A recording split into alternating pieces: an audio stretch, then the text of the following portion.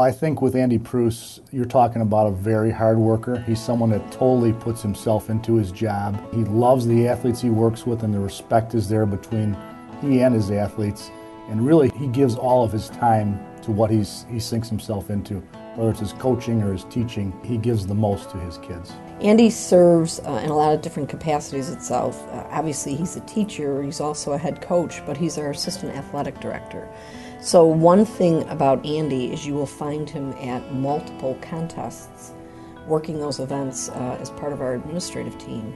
And his commitment to our kids, and particularly commitment to the athletic program, is just outstanding. Andy Preuss is probably one of the most well liked staff members that I've ever come across in my 30 years of teaching. He is somebody that has a great sense of humor and someone that truly people that have gone through Glenbard South High School, they always ask when they're calling back to Glenbard South, how's Andy Preuss doing? So you know the influence he's had on kids. I have never seen Andy in a bad mood. So he always has a kind word and a quick smile, a funny joke to tell people. Well, Andy is our head boys cross country and head boys track coach.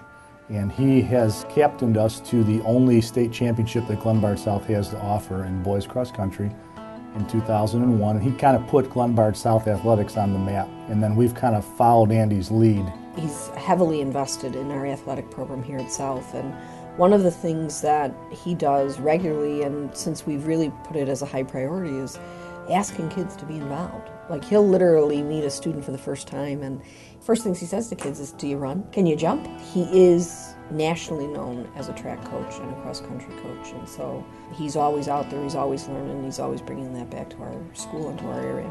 He leads by example. He's a great role model for the kids, and I think that what he does with his student athletes, he raises the bar for them, and they have to achieve it instead of just saying, "Hey, we'll accept this." He really has them go after it. He was recently inducted into the Track and Cross Country Hall of Fame, and I was just stunned, first of all, that his speech was all about the kids that he coached, and really the accomplishment was theirs and not his.